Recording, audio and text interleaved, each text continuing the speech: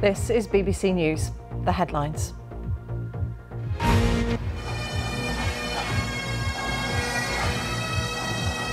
In a day of ceremony and sorrow, the United Kingdom and the world has bidden farewell to Queen Elizabeth II.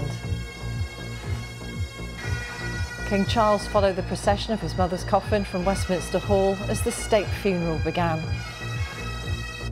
The coffin was carried into Westminster Abbey for a service attended by 2,000 guests, including 500 foreign leaders, royals, and dignitaries. All the generations together, the Queen's grand and great grandchildren took their places.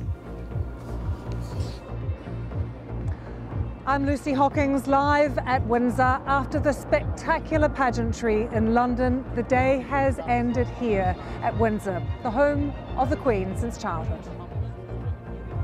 Crowds gathered to watch the Grenadier Guards accompany the late Queen to her last resting place.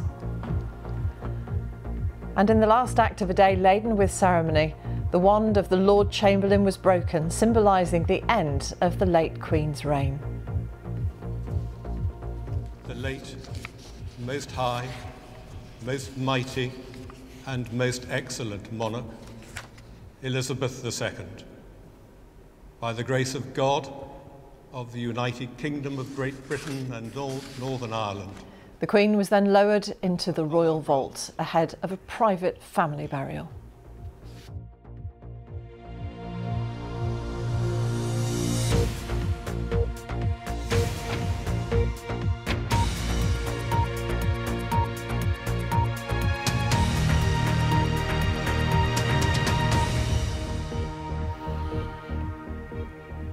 Good evening and welcome to BBC News.